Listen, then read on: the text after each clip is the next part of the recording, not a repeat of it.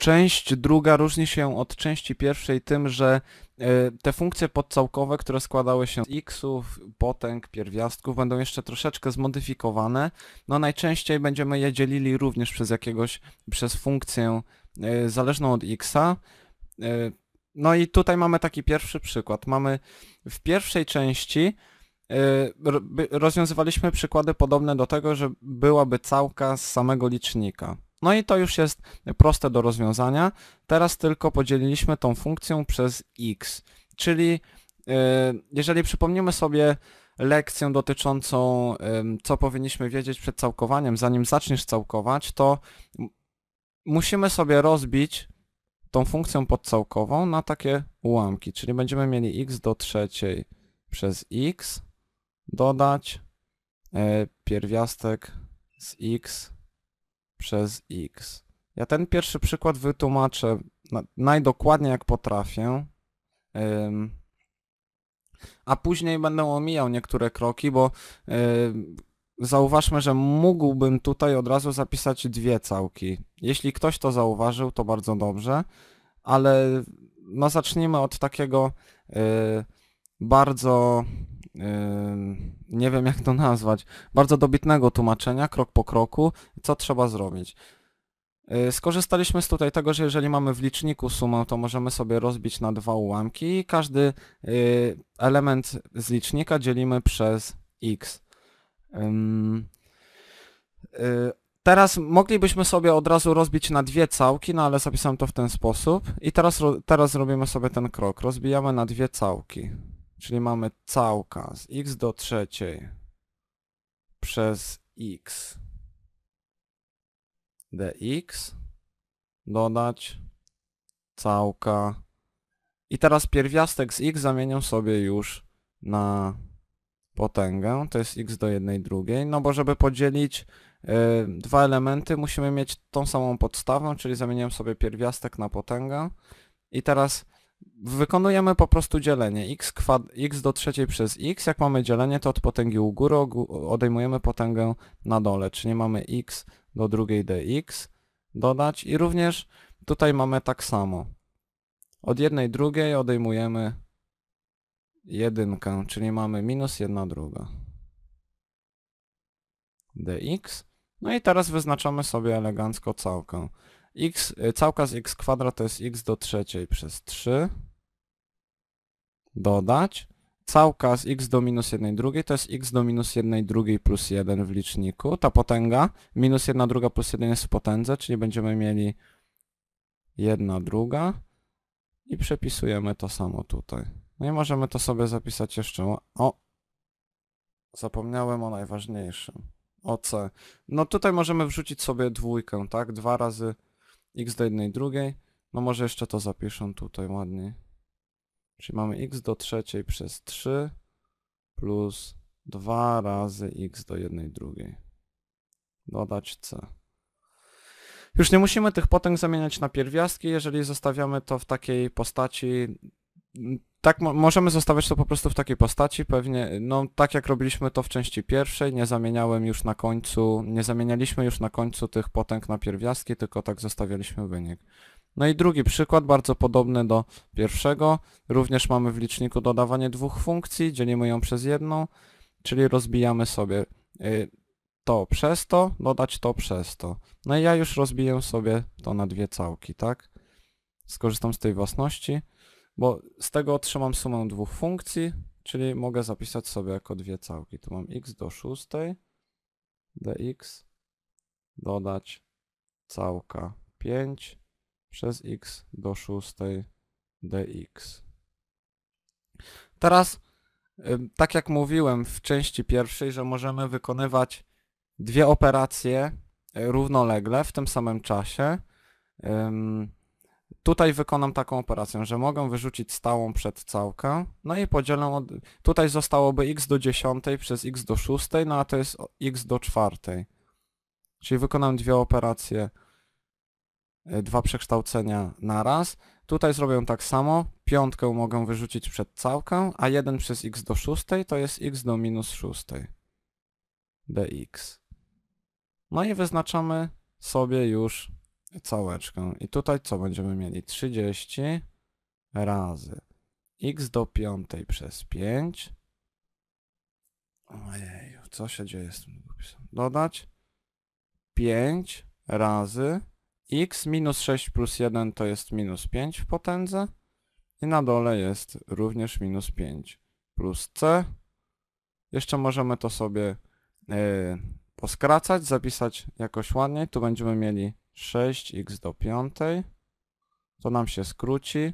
Plus minus będziemy mieli minus 1. x do minus piątej to jest x przez 5. Dodać c. Kolejny przykład. Również podobny do poprzednich. Postępujemy według tego samego schematu. Rozbijamy sobie na dwa ułamki, tak? Czyli mamy 2x przez x do czwartej i rozbijam od razu na dwie całki. Tutaj będzie minus całka 5 przez x do czwartej.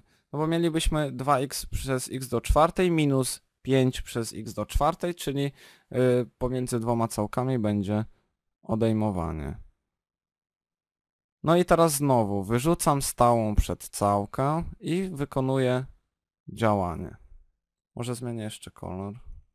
Czyli tutaj mam 2, całka, x yy, podzielić przez x do czwartej, to jest x do minus trzeciej dx minus 5, całka x do minus czwartej. Czyli znowu wyrzuciłem stałą przed całkę i zamieniłem sobie miejscami mianownik z licznikiem. No i stosuję już gotowe wzory całkowe. No to równa się też, cały czas mi się tak dziwnie rysuje. Tu mam x razy, y, 2 razy x do minus drugiej przez minus 2. Bo mi, y, tutaj do tej potęgi dodajemy jedynkę w tej, w, tym, w tej naszej wynikowej funkcji i dzielimy przez to samo, co jest w potędze. Tutaj mamy minus 5 razy x do minus czwartej. Minus 4 plus 1 to jest minus 3 i tutaj jest też minus 3. I najważniejsza rzecz, o której nie możemy zapominać, to jest plus c równa się, to nam się skraca, czyli mamy minus 1 przez x kwadrat, minus i minus to jest plus 5 trzecich, x do minus 1 trzeciej to jest 1 przez x do trzeciej, tutaj razy, plus c. No i jeszcze jeden przykład. Popatrzmy, co mamy u góry. Mamy coś, co znamy z liceum, to jest wzór, możemy zastosować wzór skróconego mnożenia, jeśli w nawiasie dodajemy dwa elementy. Jak on wygląda? Aha, tutaj zapiszę sobie, że dzielimy przez x do trzeciej. Jak on wygląda? Pierwszy do kwadratu, czyli x do czwartej, dodać 2 razy pierwszy razy drugi, to jest 2x kwadrat, dodać drugi do kwadratu. Yy, Dodać 1. Tak? Tutaj chciałem poprawić ten plus. No po tej lekcji zrobię sobie przerwę, bo no coś tutaj dłoń się przykleja do tableta. Jest, jest troszeczkę gorąco. Nie wiem, długopis e, też zawodzi, trzeba będzie chyba baterię wymienić. Ym, No i teraz ponownie robimy to, co w poprzednich przykładach, tylko że mamy tutaj u góry trzy funkcje, to roz, będziemy rozbijali sobie na trzy całki, czyli mamy x do czwartej przez x do trzeciej dx plus y, 2x kwadrat przez x do trzeciej. Ja tu wykonałem nawet trzy czynności naraz, bo rozbiłem sobie, rozbijam na całki, na trzy całki, tutaj stałą wyrzuciłem przed całkę, tak? No to no to dwie czynności. I tutaj jest całka 1 przez x do trzeciej dx. To dwie czynności. Ok, i co teraz robimy? Wykonujemy działania. x do czwartej przez x do trzeciej to jest x to jest x dx dodać dwie y, całki x do minus pierwszej dx do minus pierwszej.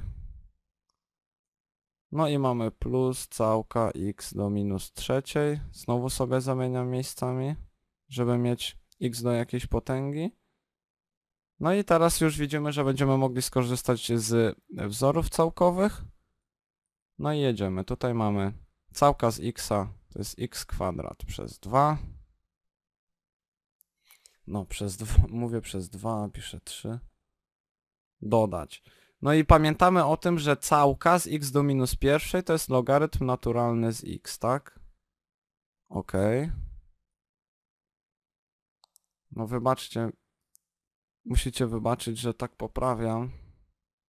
Ale chciałbym, żeby to było dobrze zrobione, no ale tutaj długopis zawodzi troszeczkę. No i mamy yy, całka z x do minus trzeciej, to jest x do minus drugiej przez minus 2 dodać C.